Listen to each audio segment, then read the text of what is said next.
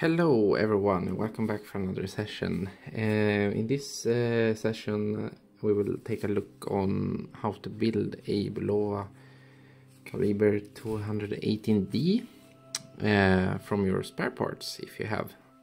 Uh, and I'm very excited about this project because uh, this is something I have been thought a long time about doing and obviously um, to build uh, you need all of parts of course for this caliber.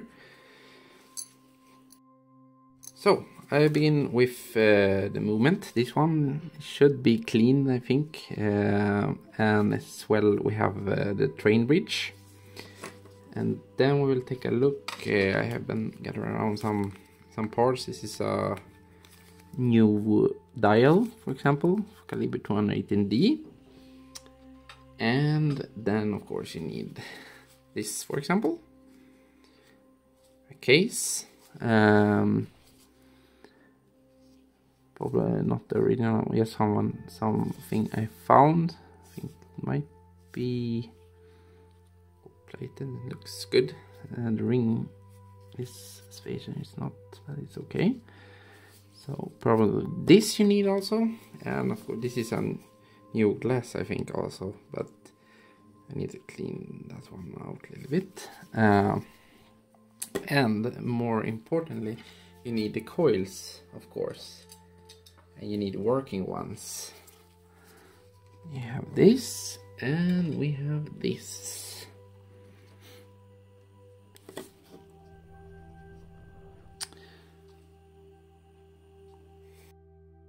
So let's see I mean, readings of, of this should be, from what I understand, probably around 8, right? Something like that. Uh,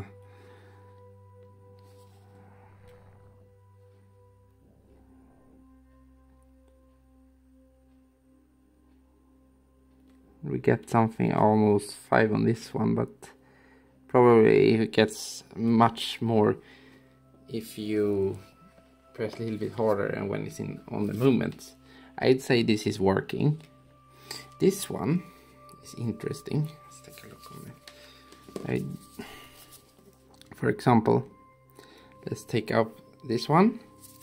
Here you have a the right side uh, coil. You can see a little bit rust here. I would like to maybe see if I can remove it or maybe not, but I will show you this, for example and my little tool here.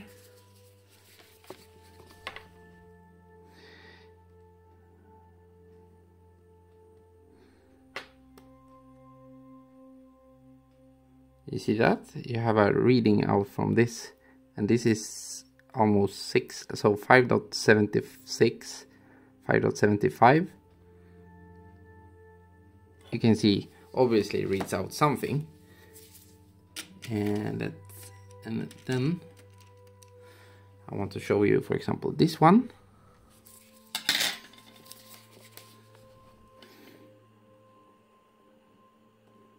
This doesn't give anything. You see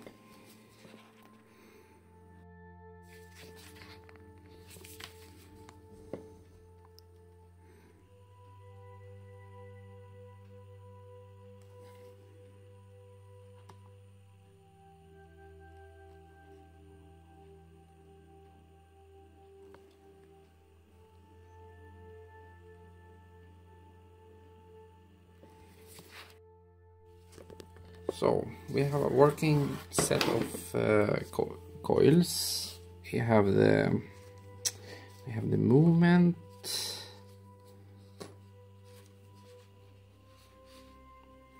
We have the train bridge. We have this, and we have the dial now. Now we have to take a little bit closer look to other parts here. Um, really much here. Can see some dials and all of that. We have all the screws we need and we would probably need this also. I think they are, yeah. need to fix that, but it's just uh, all together. Need the tuning fork also. Take a look here on the microscope. We can see pretty good here with the tuning fork and that one seems okay. It's straight and it's really good. So now we have that one, that part too. So now we will need the screws for the coils. Uh, I, I remember I have one set here uh, for uh, the left coil and this seems to be okay. Um, this one there and there, yeah, this is exactly the ones for the left one. Take a look on that. So this is the screws for the left coil uh, it's very good to take notice on that one. Uh, this uh, smaller one is at the below of the coil and this goes a little bit upper. Just to show you, this is where they go. So for the other one, we other index finger, we need one of these three. One, two, three. We'll be taking a look on that one. This is the screw you regulate when the last thing when you regulate the index finger to the index wheel. This is the one. It's a special one. We'll be taking show you exactly which one. Yes, these are different. This is the one I'm talking about.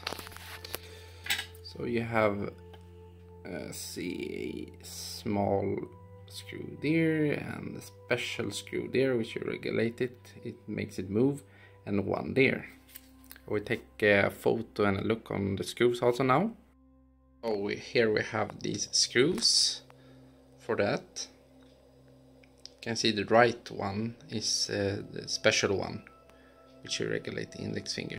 Oh here you can see where these screws uh, goes. The smallest one at the top and special one at the right and below part. And as you see the further one at the left side. So the next part we will be looking for is for the num uh, screw number 7 and 8 which goes here and there. Very important screws. Yes, recently I actually fixed a watch which had missing a missing screw 7 and 8 and when he turned, uh, when we turned the watch, it stopped. And that had to do with this being loose. So very important. So here we have the screws 7 and 8. Screw 7 and 8 sits in the in the fork here. You can see there, there exactly it goes.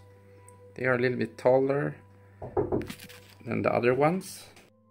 Oh, uh, now we will be taking a look at some screws which actually sit in the in the train bridge. Uh, this one and several of these screws, which I call them, sits there.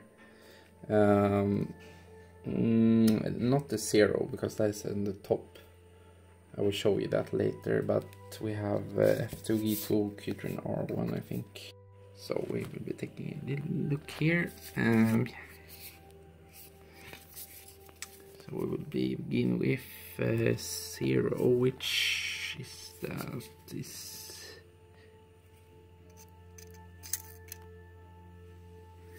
ah. Let's begin again by looking for the screws for the bridge. So uh, the zero one is not included there, so most probably we need this one, but we will begin with zero actually. That's where I noticed I almost took the wrong one. Uh, we need the one of these uh, to the zero. And then we will taking some other ones here uh, number one and two and three and four for example.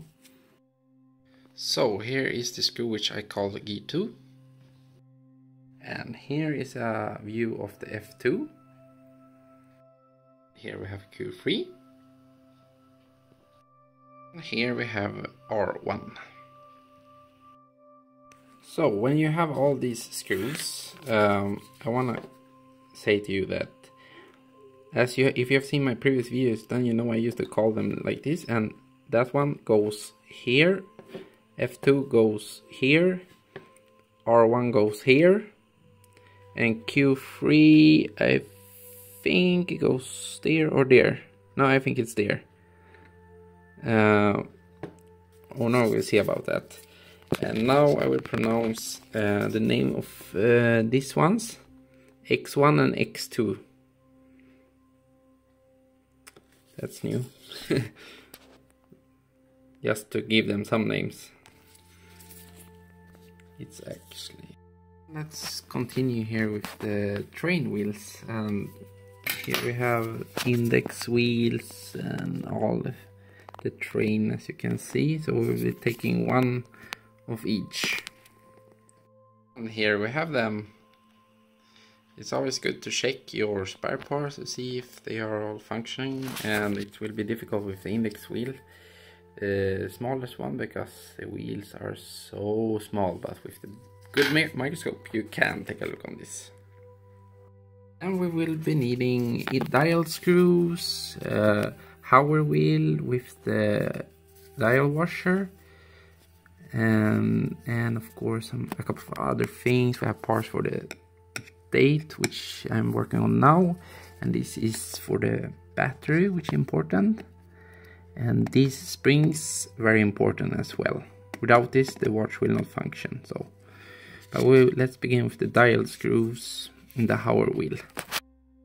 This is a look of the dial screws. They're the smallest one here.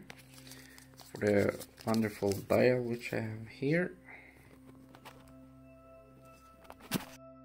So here we have the hour wheel with the dial washer.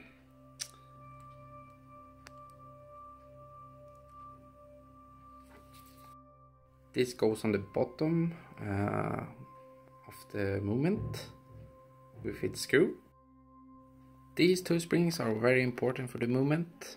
I will show you how to and where they go. Um, well, and one there.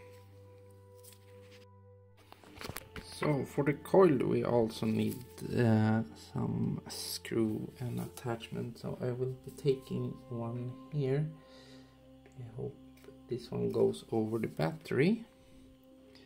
One of those. And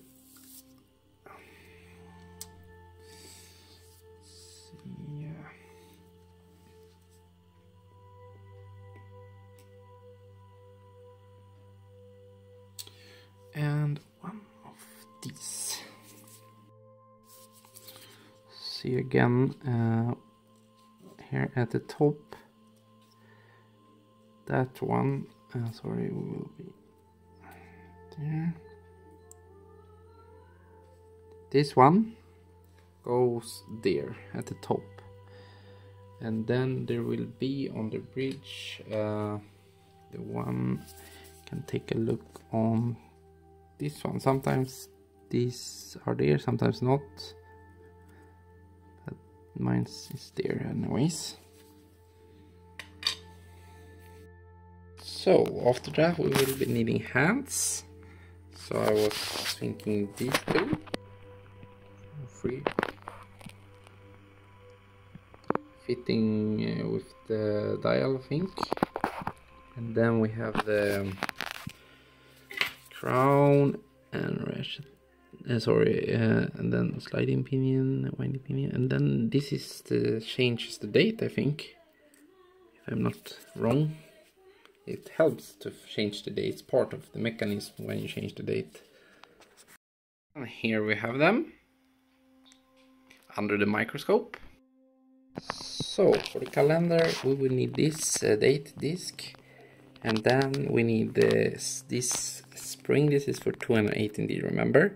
All of this is only caliber 218d I think I'm, I'm not sure about the other versions. And then this. Another spring goes this one is very important also goes under there. I will show you later when we will assemble this. First a look on all the parts. I think this can be pretty useful if you mix the screws then you can maybe look at this video in the future. These are the screws uh, for the for the, this one. Let's take a look. Sorry about this. See right. This one.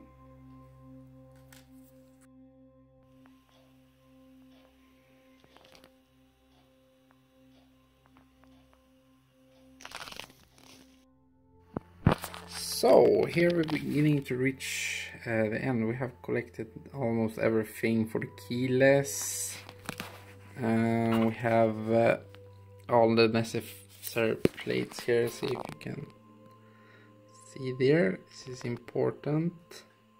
Another little spring also. I will show you all of this when I will connect everything. You have the cannon pinion. Uh, it's the ETA type of version integrated there and we have a minute wheel and this uh, little fellow is part important for the date change. And we have this intermediate wheel I think or setting wheel not sure if it's an intermediate wheel or setting wheel. Uh, but yeah we're getting there with all of this. Here we have the parts the yoke the yoke spring intermediate wheel the date shifter uh, spring whatever the name is. Uh, yeah here it looks like good.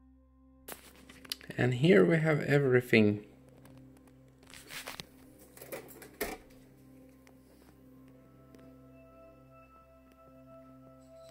Now it's time to assemble this Hello and welcome back. So uh, now it's time to reassemble this one with all the parts which we have collected here for this watch from the spare parts. I always begin with setting lever screw and the setting lever. So they are actually there. You can see here pretty good. We will add some oil soon also. And I think it would be interesting also of course to place uh, this little fellow here because this is the date. Uh, function alright. I think it's either supposed to be down. Now actually it's good to place it in a holder also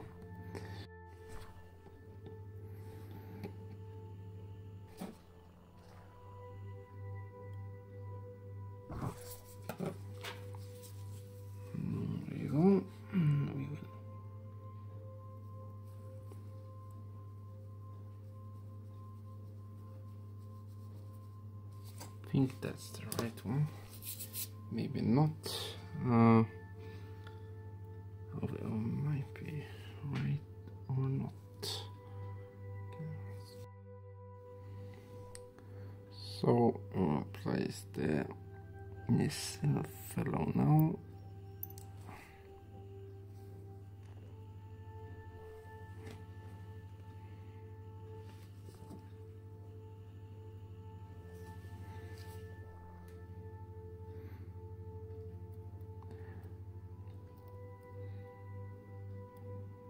You can see it matches and you can add oil also on the stem now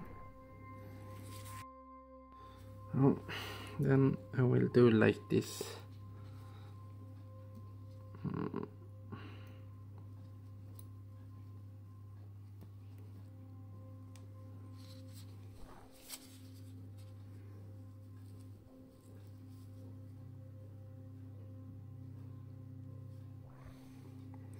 can actually how it's connected.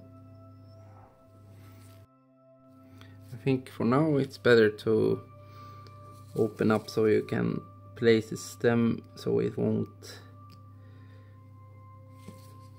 get lost in there. I mean needs to be connected here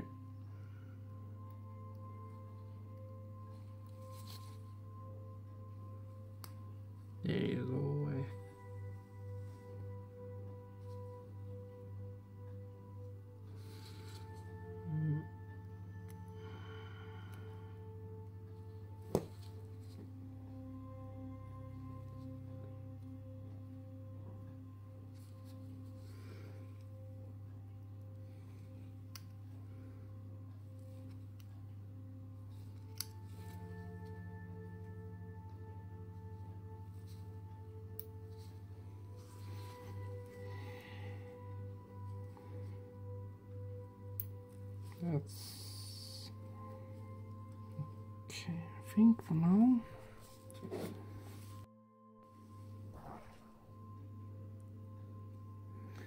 To add deer at the yoke. And I already added the oil to the stem and all of that, but I will add some more here.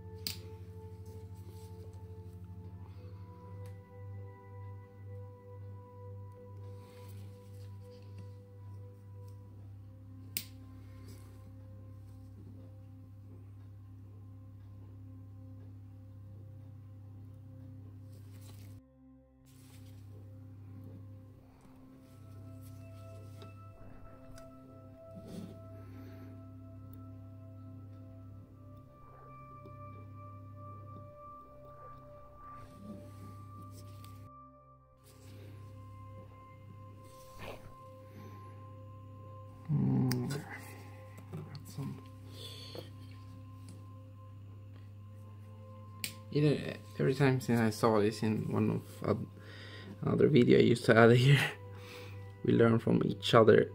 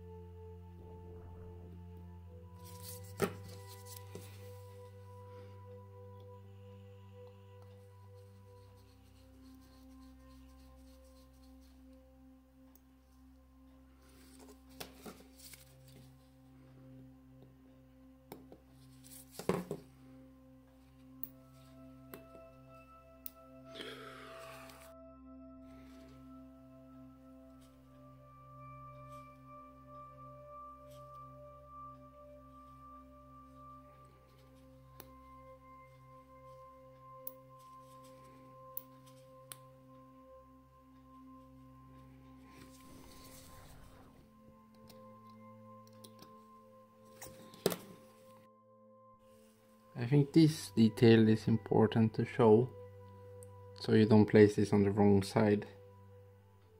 This is the correct side, not not this side.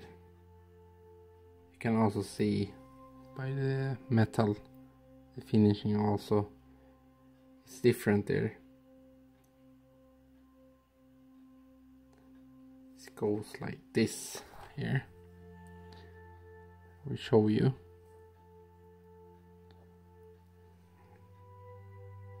Okay.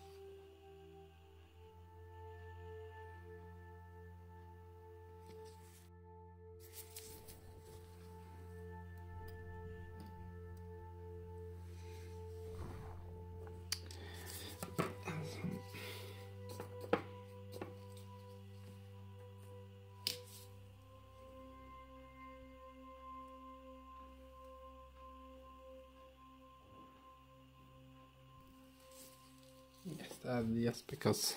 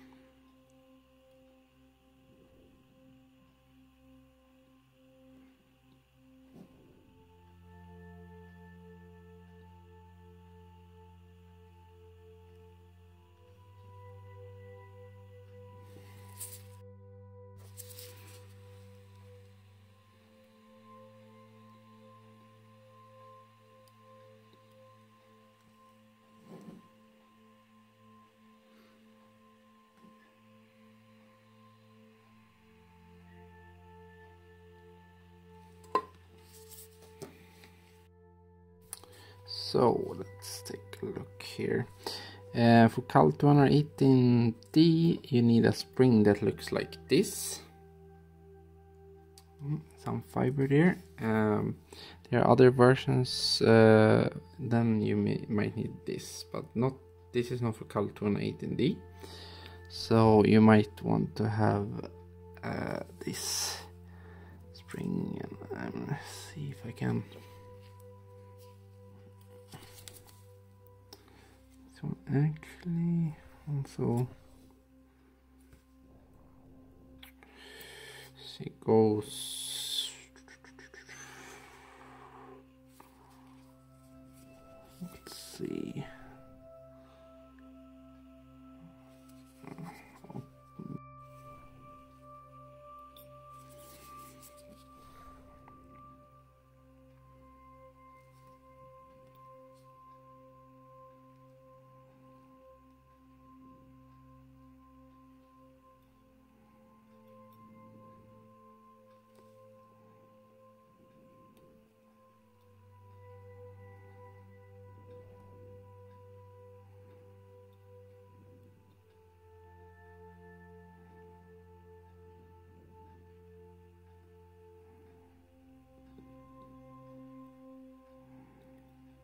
Mm -mm.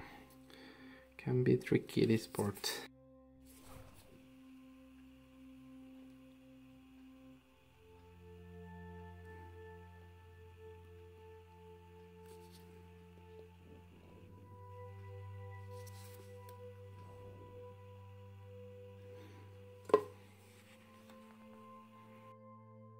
Let's see if I remember correctly this goes here and there's will the screw be and this this will hold it and then this one will touch that one.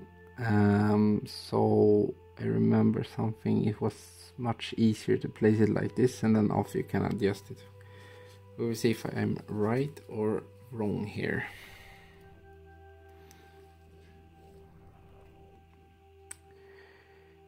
So we will be yes carefully adding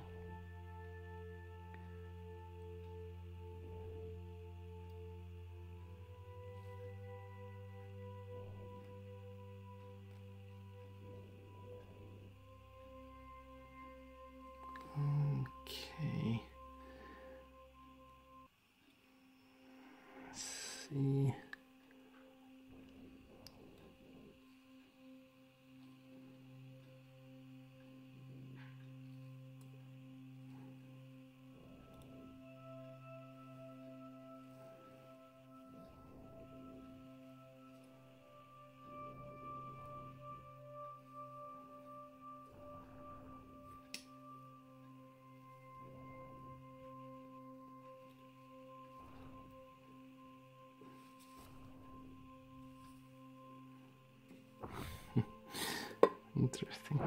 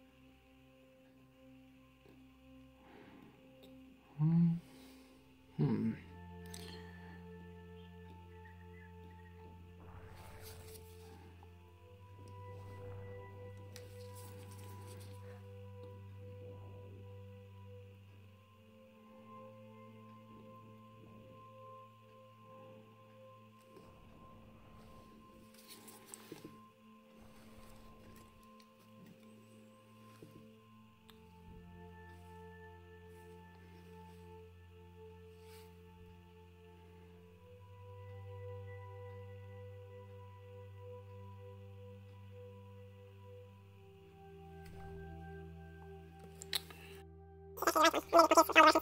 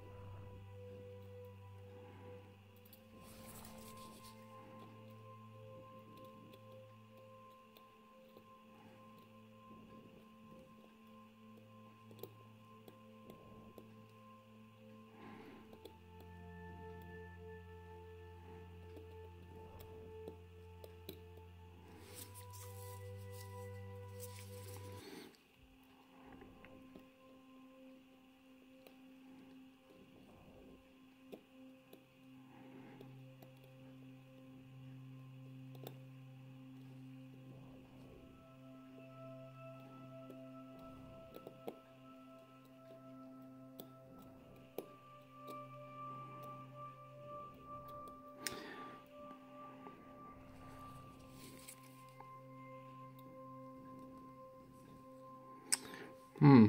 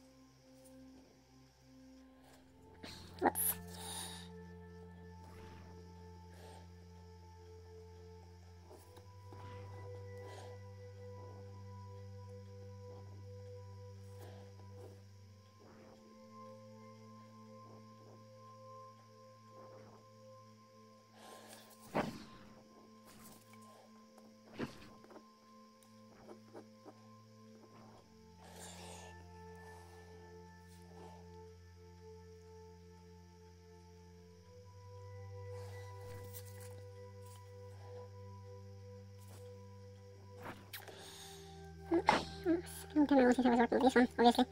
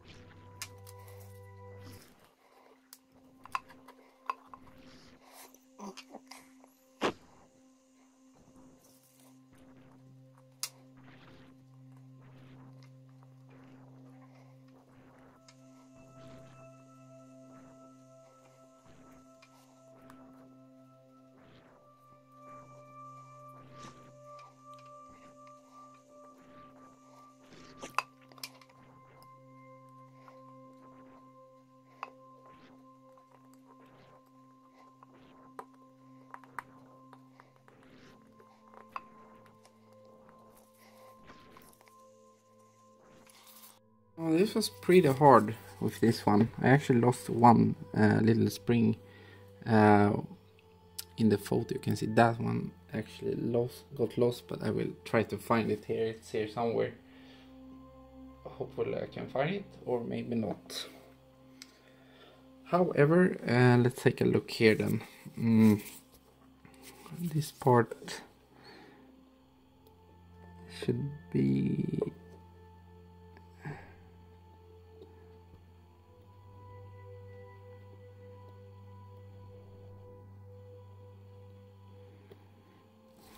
let's open it up a little bit here. Sorry. You can see this.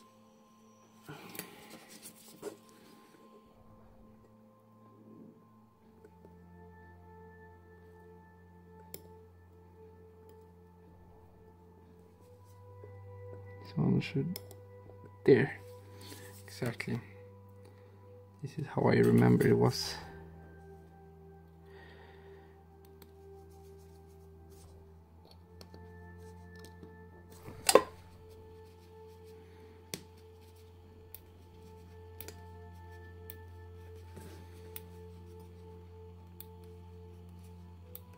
But sadly, one spring got lost here.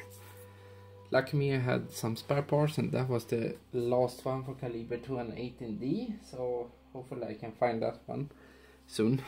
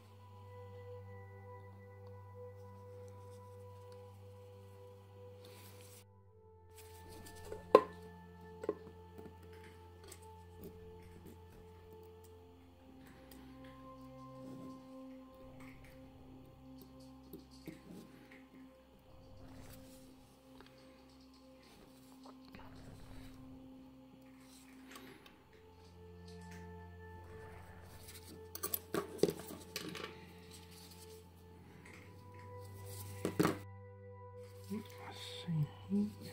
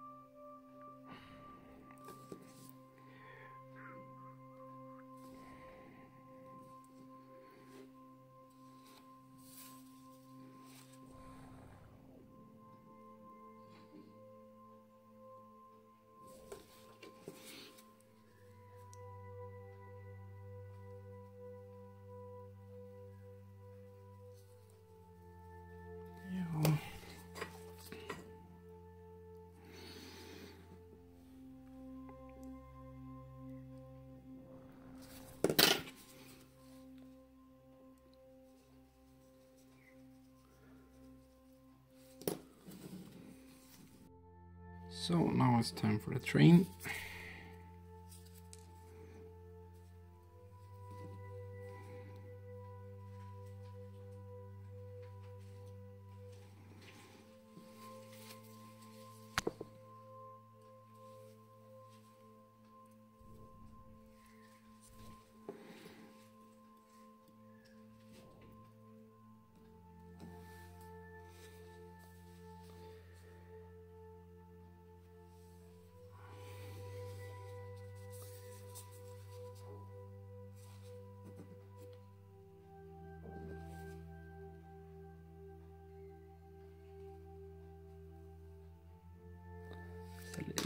Check here on the I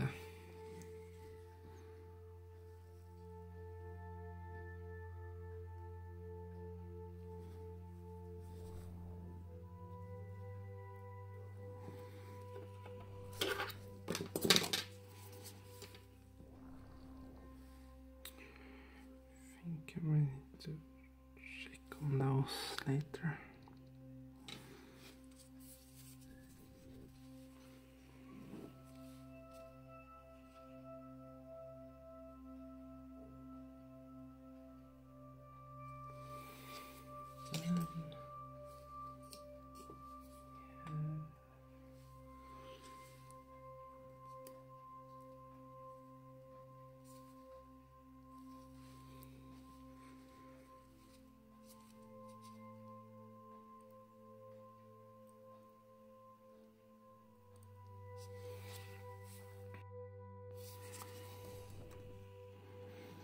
Once I managed to place everything with one.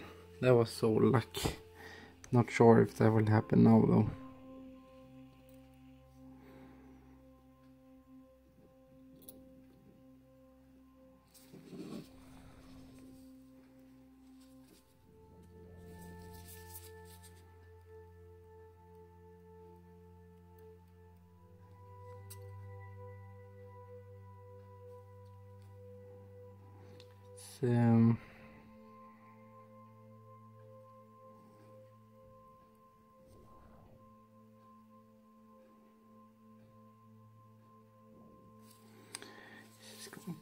Demand some work.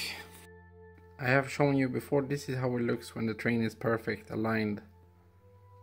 Now you need to hold it and close it with the screws, as I call them G2, F2. So this is for the right coil and this is super important that it is groove because I was troubleshooting it and I was using this one and I didn't have this black little thing so probably caused bad contact this should be the one to uh, use here finally after some adjusting maybe took two hours to fix this but this is the result and it's working good well a little bit regulating left but uh, this is how I built this uh, Bulova. Thank you so much for watching. Bye.